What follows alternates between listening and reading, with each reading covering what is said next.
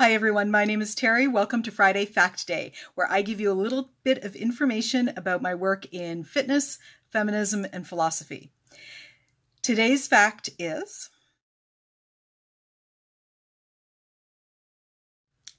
bicycle face.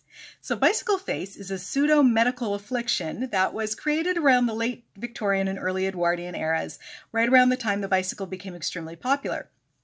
And it was created to keep women from participating in riding bicycles. Why would people want to do that? Because it gave women too much freedom, basically. Um, and it was too exciting. A lot of people thought back then that women couldn't handle excitement. Uh, it would it would ruin us physically. So the uh, symptoms of bicycle face were that you'd get sweaty, your uh, you your skin would get flushed or red, might get a bit of windburn as well, and your hair would get messy. And if you end up looking like that, especially frequently, you won't get a husband.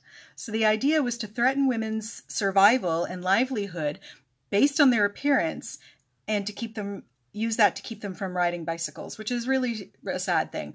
I really think that um, the modern problem that a lot of women have uh, about sweating and the reason they don't want, like to work out is because, oh, I don't like how I feel when I sweat, has gone back to some degree um, to this problem in making it unladylike to sweat. So, ladies, if you're out there, please sweat, ride your bicycle, lift heavy, and I'll see you next Friday. Bye.